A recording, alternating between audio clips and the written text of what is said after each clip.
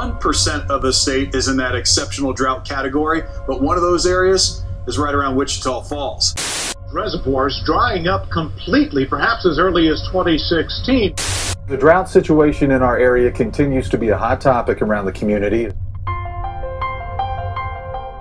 As Wichita Falls residents struggle to conserve water at home and on the job, the city was sending more than 7 million gallons of water from its wastewater treatment plant that had already been treated with four different cleansing processes downstream to other cities. The water that we discharge is, is cleaner, so to speak, than the water in the river. That, and, the, and it's cleaner than the water in the, in the lakes that we already use as drinking water.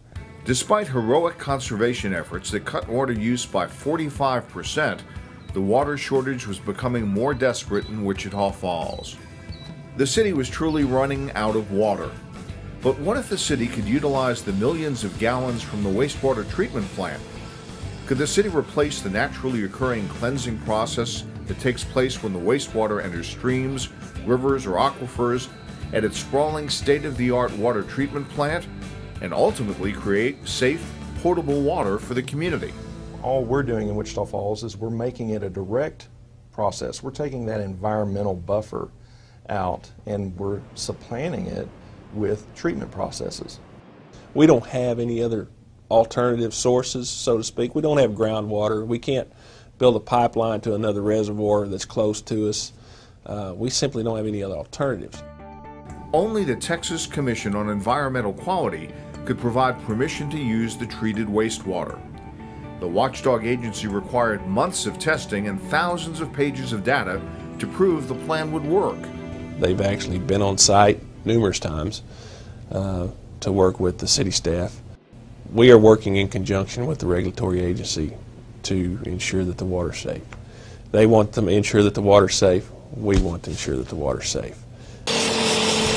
In late June 2014, the TCEQ gave permission to start the process. There are numerous checks and balances, belts and suspenders in this process. We, we wouldn't have gotten it approved through the state regulatory agency if we didn't have that. Utility Operations Manager Daniel Nix explains how the water treatment plant mimics what happens in rivers or lakes. The water from the wastewater treatment plant is already being processed as it travels by pipeline to the water treatment plant. Water that's coming from the wastewater plant has been highly purified. It's gone through several uh, highly scientific processes that are uh, operated and, and, and maintained by certified operators. The wastewater is clear as it enters the clarification pond.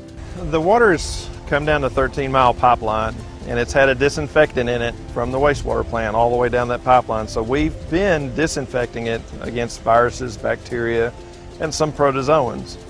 Once we get here inside the water treatment plant, we add a coagulant, which is ferric sulfate. This process brings together any material still suspended in water which sinks to the bottom for removal. In this clarifier, uh, you get a very clear water, and so here you've got a water that smells for all intensive purposes like lake water.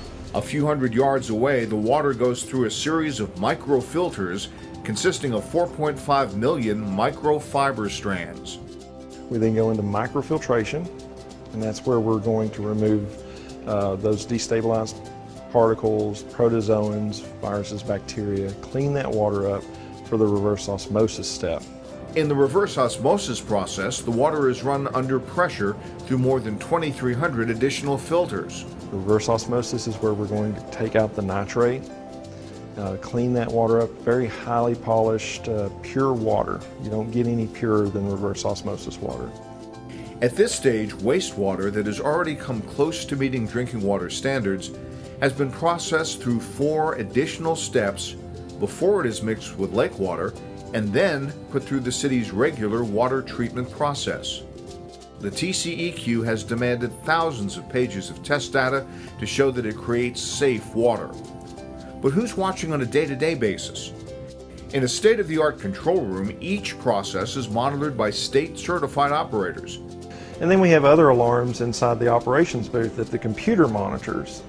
Down the hall, a state certified accredited microbiological and chemical laboratory is available on site. We've got lab analysis that uh, controls the process uh, and checks to make sure that it's removing the material like we want it to. And so we've got lab alarms and we've got operations alarms. So we've, we've got a ton of bells and whistles looking at everything as this water moves through our treatment process. So, why has this innovative, safe process generated so many headlines? The answer is that few people were aware that the processes being used in Wichita Falls have already been successfully implemented in Texas and around the world. The, the treatment technologies that we're using are proven treatment technologies. Um, they've been in the water treatment industry for the past 40 or 50 years. It's absolutely safe. Would I drink it? Absolutely. Would my family drink it? Absolutely. Proven technologies, state of the art equipment and facilities, continuous monitoring and testing, and 5 million more gallons of water a day to meet Wichita Falls needs. Who wouldn't drink to that?